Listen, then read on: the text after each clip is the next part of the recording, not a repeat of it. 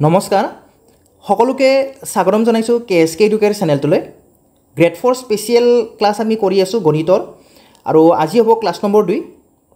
আশা কৰোঁ আপোনালোকে এক নম্বৰ ক্লাছটো চাইছে। এটা প্লে'লিষ্ট বনোৱা হৈছে য'ত নেকি গ্ৰেড ফ'ৰ স্পেচিয়েল এই ক্লাছবিলাক থাকিব আৰু প্লে'লিষ্টৰ লিংক মই ডেছক্ৰিপশ্যন বক্সত দি দিছোঁ আপোনালোকে চেক কৰিব। ঠিক আছে? তো আজি দুই নম্বৰ ক্লাছ আমি আলোচনা কৰিম আৰু আজিৰ টপিকটো হৈছে সমবাহু ত্ৰিভুজ। ভেৰি ভেৰি ইম্পৰ্টেণ্ট হয় কাৰণ সমবাহু ত্ৰিভুজৰ পৰা এটা নহয় এটা প্ৰশ্ন আহি আছে। সেইটো আপোনাৰ ডি এইচ এছ হওক বা টেট পৰীক্ষা হওক বা আপোনাৰ যোৱাবাৰৰ এ ডি ই হওক দুহেজাৰ বাইছ বৰ্ষত অনুষ্ঠিত হোৱা A D E grade four grade three দুয়োটাতে সমবাহু ত্ৰিভুজৰ পৰা প্ৰশ্ন আহিছে। সেইকাৰণে সমবাহু ত্ৰিভুজৰ লগত জড়িত যিমানখিনি যি কনচেপ্ট আছে গোটেইখিনি বুজি পাব লাগিব গোটেইখিনি মনত ৰাখিব লাগিব। সেইকাৰণে মই প্ৰথমতে সমবাহু ত্ৰিভুজৰ কোনখিনি বস্তু জানিব লাগে? সেই জানিবলগীয়া বস্তুখিনি প্ৰথমতে দি ল'ম তাৰে পিছত এই টপিকৰ পৰা কেনেকুৱা ধৰণৰ কি প্ৰশ্ন আহে আমি আলোচনা কৰিম। যদি আপুনি গ্ৰেড থ্ৰীৰ কাৰণে প্ৰস্তুতি চল চলাই আছে আপুনি এই ক্লাছটো চাব পাৰে কাৰণ এই ক্লাছটো অকল গ্ৰেড ফ'ৰ বুলি নহয় গ্ৰেড থ্ৰীৰ কাৰণেও ইম্পৰ্টেণ্ট হ'ব। কাৰণ গ্ৰেড থ্ৰীত গ্ৰেড থ্ৰীৰ ক্ষেত্ৰতো ইয়াৰ পৰা প্ৰশ্ন অহা দেখা গৈছে। অ'কে সমবাহু ত্ৰিভুজ বুলি ক'লে কি হয়? যে যিবিলাক ত্ৰিভুজৰ বাহুবিলাক সমান হয় ছাইডছবিলাক যেতিয়া সমান হয় তিনিটা ছাইড আছে ত্ৰিভুজৰ তিনিওটা ছাইড যদি ইকুৱেল হয় দেন তাক আমি ইকুইলেটাৰেল ট্ৰাইংগল বুলি কওঁ সমবাহু ত্ৰিভুজ বুলি কওঁ। তো এইখিনি বস্তু প্ৰথমতে আপোনালোকে লিখি ল'ব। প্ৰথমতে লিখি ল'ব। টপিকটো লিখিব ইকুইলেটাৰেল ট্ৰাইংগল সমবাহু ত্ৰিভুজ এটা এনেকৈ ত্ৰিভুজ আঁকিব নাম দিব এ বি চি নাম দিব এ বি চি ইয়াৰে এ চি বাহু বি চি বাহু এ বি বাহু গোটেইকেইটা বাহু ইকুৱেল হৈ যাব। অকণমান ধৈৰ্য ধৰিব বস্তুখিনি লিখি ল'ব তাৰে পিছত আমি ধাপ ধুপ কুৱেশ্যন কৰিম। ঠিক আছে? এতিয়া চোৱা যদি আমি ইয়াৰ এটা বাহু এ চেণ্টিমিটাৰ বা এ ইউনিট বুলি যদি আমি ধৰোঁ তেতিয়া বাকীকেইটা বাহু এ হৈ যাব। কিয়? কাৰণ এক নম্বৰ পইণ্ট মনত ৰাখিবলগীয়া পইণ্টটো হৈছে all sides are equal all sides are equal গোটেইবোৰ বাহু কি হয়? সমান হয়।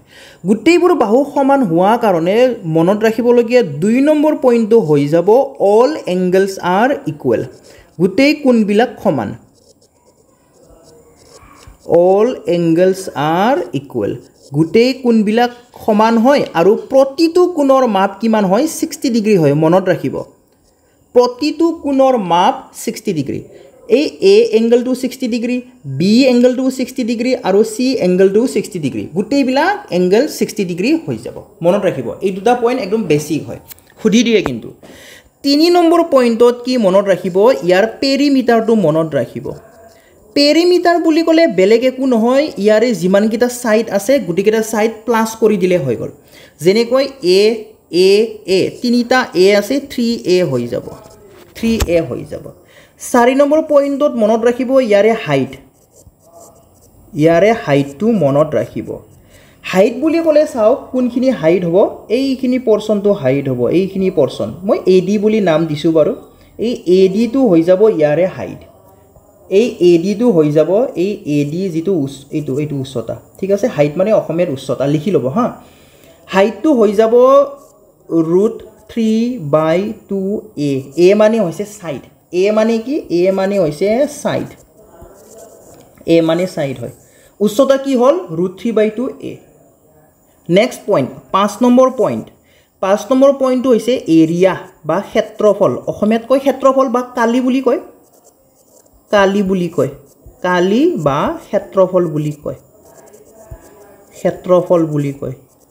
ক্ষেত্ৰফল কি হয়?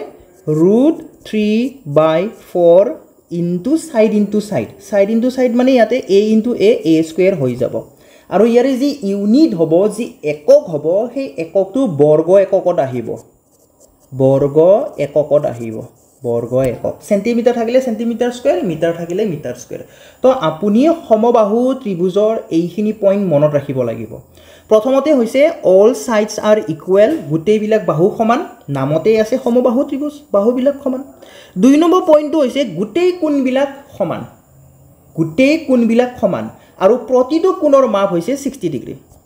নেক্সট তিনি নম্বৰ পইণ্টটো হৈছে ইয়াৰে পেৰিমিটাৰ পেৰিমিটাৰ হৈছে পৰিসীমা। অসমীয়াত পৰিসীমা বুলি কয়। পৰিসীমাৰ মাপ কিমান হয়? থ্ৰী এ হয়। কিমান হয়? থ্ৰী এ হয়। নেক্সট হাইট উচ্চতা। উচ্চতা বুলি ক'লে এই এইটো হৈছে উচ্চতা ঠিক আছে? এইটো হৈছে উচ্চতা। আৰু উচ্চতাৰ যিটো ফৰ্মুলা হয় সেইটো মনত ৰাখিব root three by two A হয়। Root three by two A আৰু কালি বা ক্ষেত্ৰফল এইটো ভেৰি ভেৰি ইম্পৰ্টেণ্ট হয়। মনত ৰাখিব মই ষ্টাৰ দিছোঁ। ভেৰি ভেৰি ইম্পৰ্টেণ্ট হয়। কিমান হয়? মনত ৰাখিব root three by four A square হয়। ঠিক আছে? এইখিনি বস্তু নোট ডাউন কৰিলা বুজিলা হয়নে? এতিয়া আমি ইয়াৰ লগত জড়িত প্ৰশ্ন কৰিম। প্ৰশ্ন আমি আলোচনা কৰিম। ঠিক আছে? অ'কে লিখি লওক এইখিনি। এইখিনি লিখি ল'ব। তো প্ৰথম প্ৰশ্নটো কি দিছে চোৱা? এটা সমবাহু ত্ৰিভুজৰ প্ৰতিটো কোণৰ প্ৰতিটো কোণ একচুৱেলি এইটো প্ৰতিটো বাহুৰ মাপ। প্ৰতিটো বাহুৰ মাপ ফাইভ চেণ্টিমিটাৰ হ'লে ইয়াৰ পৰিসীমা কি হ'ব?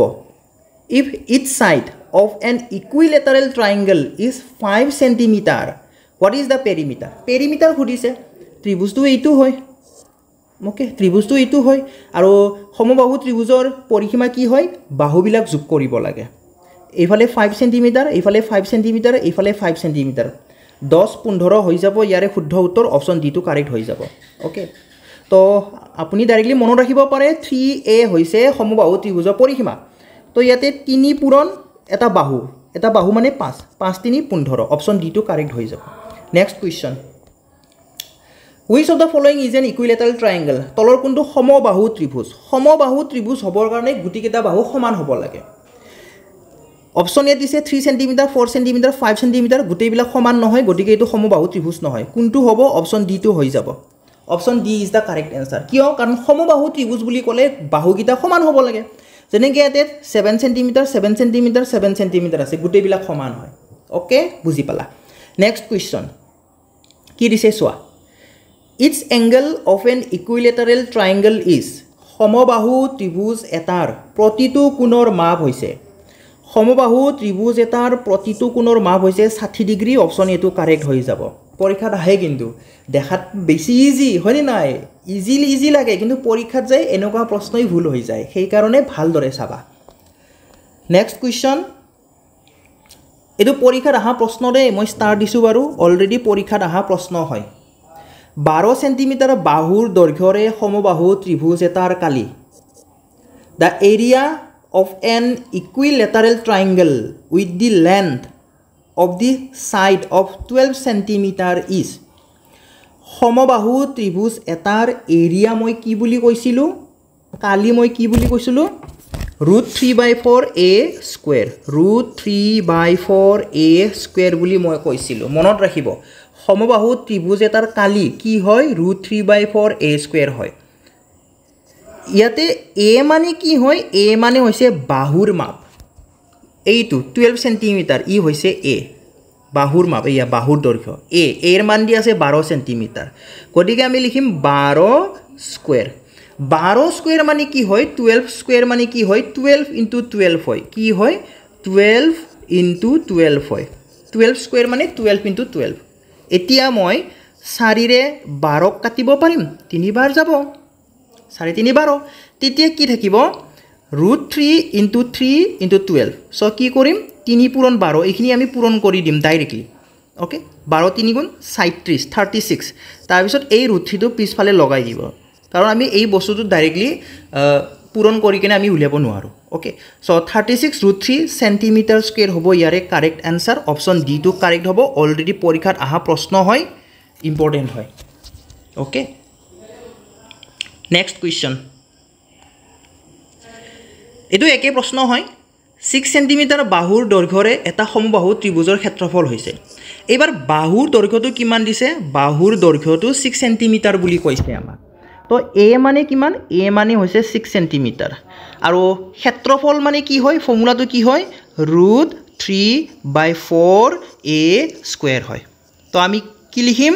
Root three by four a square a square মানে six square six square okay তো আমি লিখিব পাৰিম ছিক্স ইণ্টু ছিক্স লিখিব পাৰিম ছিক্স ইণ্টু ছিক্স ঠিক আছে? এতিয়া কাটা কাটি কৰোঁ। দুয়েৰে কাটোঁ দুই দুই গুণ চাৰি দুই তিনি গুণ ছয়। আকৌ দুইৰে কাটিব পাৰিম দুই এক গুণ দুই দুই তিনি গুণ ছয়। তেতিয়া কিমান থাকিলে? তিনি তিনি গুণ নাইন অ'কে নাইন ৰুট থ্ৰীটো লগাই দিয়া। ৰুট থ্ৰীটো লগাই দিয়া। নাইন ৰুট থ্ৰী হ'ব ইয়াৰে কাৰেক্ট এনচাৰ অপশ্যন এটো কাৰেক্ট হৈ যাব। Option A is the correct answer আগবাঢ়িছোঁ পৰৱৰ্তী প্ৰশ্নটোলৈ। এই প্ৰশ্নটো আপোনালোকে নিজে চেষ্টা কৰিব এইটো প্ৰশ্ন হোমৱৰ্ক হিচাপে দিলোঁ। আৰু উত্তৰটো কি হ'ব কমেণ্ট বক্সত জনাই যাব। ঠিক আছে? কমেণ্ট বক্সত জনাব ইয়াৰে শুদ্ধ উত্তৰটো কি হৈ যাব। নেক্সট কুৱেশ্যন চোৱা ভেৰি ভেৰি ইম্পৰ্টেণ্ট হয় মনত ৰাখিব। সমবাহু ত্ৰিভুজৰ পৰা কিন্তু বাৰে বাৰে প্ৰশ্ন আহি আছে। গ্ৰেড ফ'ৰতো আহিছে গ্ৰেড থ্ৰীটো আহিছে সেইকাৰণে ভালদৰে চাব। এটা সমবাহু ত্ৰিভুজৰ ক্ষেত্ৰফল এইবাৰ এৰিয়াটো দি থৈ দিছে। সমবাহু ত্ৰিভুজৰ ক্ষেত্ৰফল কি হয়? Sixteen root three centimetre square হয়। ইয়াৰ প্ৰতিটো বাহুৰ মাপ কিমান হ'ব? তাৰমানে এইবাৰ উল্টাটো সুধিছে আমাক। সমবাহু ত্ৰিভুজৰ ক্ষেত্ৰফল কি হয়? এৰিয়া কি হয়? Root three by four a square হয়। এইটো হৈছে সমবাহু ত্ৰিভুজৰ ক্ষেত্ৰফল। ইয়াৰ মানটো এইবাৰ দি থৈ দিছে। কিমান দি থৈ দিছে? ছিক্সটিন ৰুট থ্ৰী বুলি দি থৈ দিছে। মানটো দি থৈ দিছে। অ'কে তো ইয়াৰ পৰা আমি কি উলিয়াব লাগে? বাহুৰ মাপ উলিয়াব লাগে। অৰ্থাৎ এ আমি উলিয়াব লাগে। অ'কে তো আমি কি কৰিম? এই যে এ স্কুৱেৰ যে আছে ইয়াতে এ স্কুৱেৰ আছে হয়নে? তো এ স্কুৱেৰৰ লগত যিমানবিলাক যি সংখ্যা আছে সেইবিলাক আমি ৰাইট ছাইডত লৈ যাম। তো কেনেকৈ কি হ'ব চোৱা? কেনেকৈ কি হ'ব? এ স্কুৱেৰ এ স্কুৱেৰটো ৰাখিলোঁ। Is equal to already right ছাইডত ছিক্সটিন ৰুট থ্ৰী আছে। তাৰে পিছত কি কৰিম? এই ৰুট থ্ৰী বাই ফ'ৰ যে আছে ইয়াক ৰাইট ছাইডত আনিলে ই ৰাইট ছাইডত আহিলে ই উল্টা হৈ যাব। ৰুট থ্ৰী বাই ফ'ৰ আছিল উল্টা হ'লে ফ'ৰ বাই ৰুট থ্ৰী হৈ যাব। ফ'ৰ বাই ৰুট থ্ৰী হৈ যাব ঠিক আছে? এতিয়া কি হৈ যাব? ৰুট থ্ৰী ৰুট থ্ৰী কাটা যাব কাৰণ এটা তলত আছে এটা ওপৰত আছে সেইকাৰণে ৰুট থ্ৰী ৰুট থ্ৰী কাটা যাব। কি থাকিব তেতিয়া? A square is equal to ষোল্ল পূৰণ চাৰি ষোল্ল চাৰি গুণ চৌষষ্ঠি।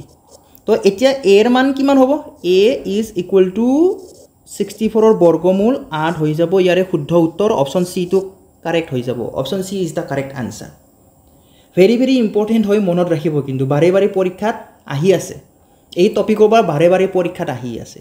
এতিয়া এনেকুৱা নহয় যে এই যোৱাবাৰ ক্ষেত্ৰফলৰ পৰা বাহু উলিয়াব দিছে এইবাৰো এনেকুৱাই দিব। নহয়। কাৰণ বেলেগ দিব পাৰে।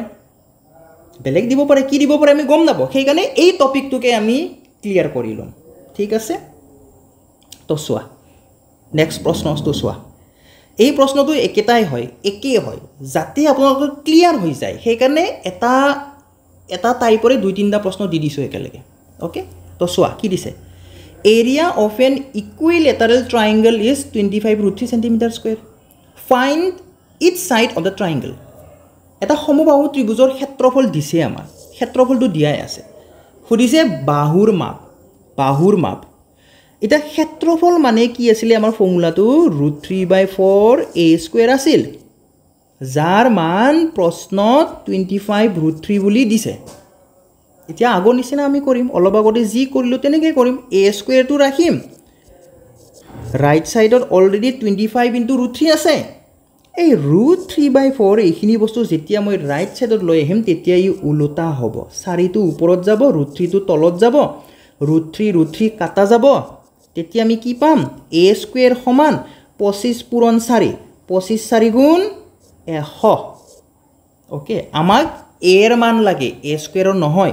সেইকাৰণে যেতিয়া আমি এৰ মান ল'ম তেতিয়া বৰ্গমূল ল'ব লাগিব। এইটো এইটো এইটো ভালদৰে চাবা। ইয়াতে মই স্কুৱেৰটো লিখিছোঁ। স্কুৱেৰটো আছিলে কিন্তু ইয়াতে স্কুৱেৰটো লিখা নাই। ইয়াতে স্কুৱেৰটো নিলিখা কাৰণে ৰাইট ছাইডত বৰ্গমূল এটা আহিলে। অ'কে চ' এশৰ বৰ্গমূল হৈছে দহ দহ চেণ্টিমিটাৰ হ'ব ইয়াৰে শুদ্ধ উত্তৰ অপশ্যন ডিটো কাৰেক্ট হৈ যাব। Option D is the correct answer আশা কৰিছোঁ বুজি পাই আছে আপোনালোকে। নেক্সট প্ৰশ্নটোলৈকে আগবাঢ়িম। কি দিছে চোৱা?